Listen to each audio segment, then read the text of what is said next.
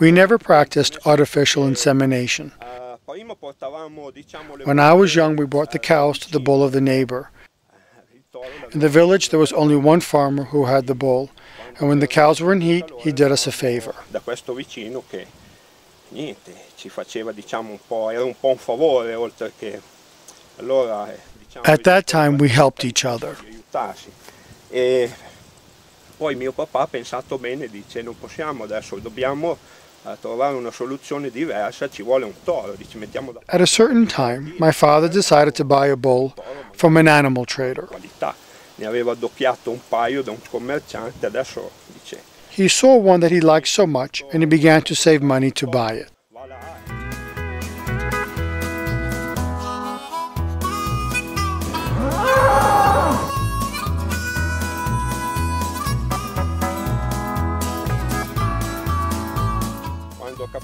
But when he heard the price, he had been astonished.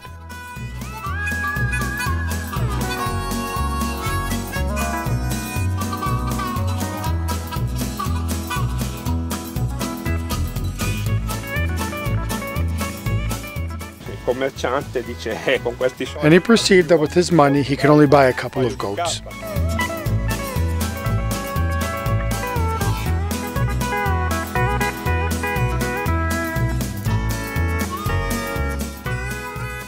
Allora mio papà My father was very embarrassed, and the trader felt very sorry for him and proposed to him another solution.